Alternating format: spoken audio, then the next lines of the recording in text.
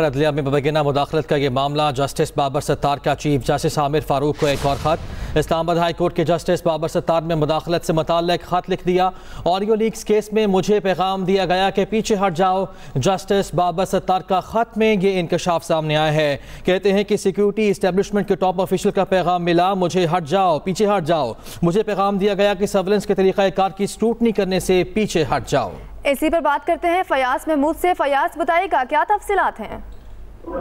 जी देखिए, Islamabad high court के justice Babar Sattar ने चीफ जस्टिस आमिर फारूक को एक और खत लिखा है, जिसमें उन्होंने कहा है कि ऑडियो इस केस में मुझे ये पैगाम दिया गया कि अब पीछे हट जाओ। उन्होंने ये भी कहा है कि सिक्योरिटी स्टेब्लिशमेंट के टॉप ऑफिशियल की तरफ़ से ये पैगाम मिला था कि पीछे हट जाओ। मुझे पैगाम दिया गया कि सर्विलियंस के तरीकाकार की सिक्योरिटी करने से पीछे हट जाओ।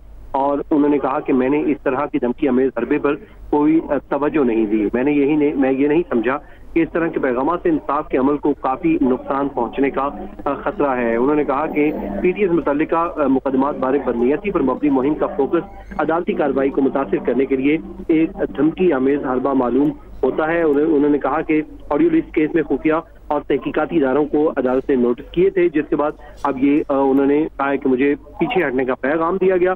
जस्टिस बाबर सत्तार ने चीफ जस्टिस आमिर फारूक को इससे कबल भी एक खत लिखा था, लेकिन अब जो है उन्होंने मुदाखलत से मुतल खत भी किया है। उससे आज तोहन अदालत की बीस मार्च के लिए मुकर है, जिसमें जो है जजेस के खिलाफ होने वाली सोशल मीडिया मुहिम पर ये बेंचेस तश्कील दिए गए थे, जो लार्जर बेंचेस अब से कुछ ही देर बाद समाप्त करेंगे। जी।